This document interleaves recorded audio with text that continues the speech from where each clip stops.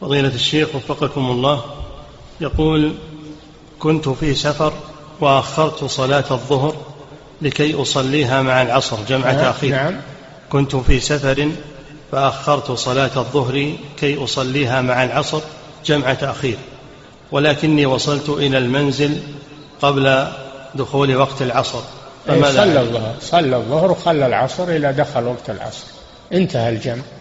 فصلى الظهر في آخر وقتها وأخر صلاة العصر صلها مع الجماعة في المسجد. نعم.